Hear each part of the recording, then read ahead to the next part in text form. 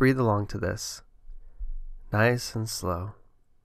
Breath comes in, breath goes out. Please follow along with me, and if you'd like, play some relaxing background music. Now, I want you to listen to what I say very carefully. What you're experiencing right now, the tightness in your chest, the racing thoughts, the tingling in your fingers, the shortness of breath. I know it feels dangerous, but please trust me when I say that this cannot hurt you. It's not possible. People don't die from anxiety. It sucks, but bear with me. Let's get through this, okay? Keep breathing. You've gotten through this before and you can do it again. I want you to notice this time how you've become just a little bit better than you were last time at dealing with your anxiety. You are here right now. You are in your body, not outside of it. Take a moment to notice the feeling of your chest expanding and contracting with each breath. Feel the cool air rushing in and warm air flowing out. This warm air is carrying away your stress and worry. You're doing great. Keep it up. Try to go easy on yourself.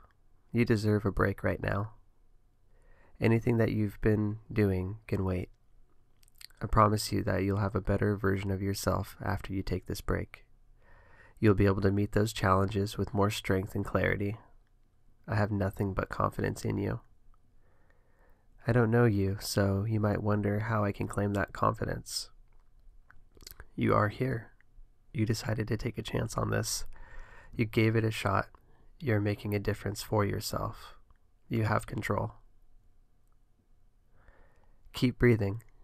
No need to put pressure on yourself to relax. Just keep filling your lungs and then gently letting go of it, all of that murky stress. Notice your body. You don't need to hold that weight anymore. Let it go. Nice and slow. You got this. Feel yourself getting lighter and looser. Your posture has become less effortful, and you're already feeling a bit different than you did when you started. Now, I want you to imagine in your mind some place that is relaxing to you.